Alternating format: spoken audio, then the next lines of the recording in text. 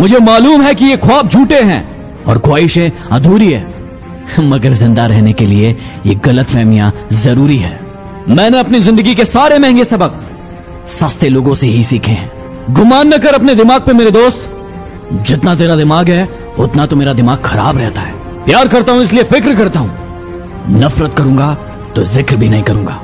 दिखावे की मोहब्बत से बेहतर है हमसे नफरत कीजिए जनाब।